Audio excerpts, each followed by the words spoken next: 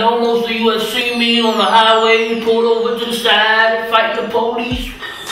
But, what we got here? One, two, four, eight, sixteen. I just want you all to know that you can tune in to, hey, be quiet, man.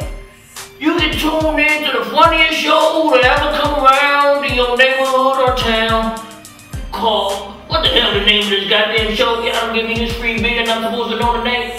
Illegally parked, I'm, good at being illegally parked and I'm about to get in my car and I'm gonna drive on out of here.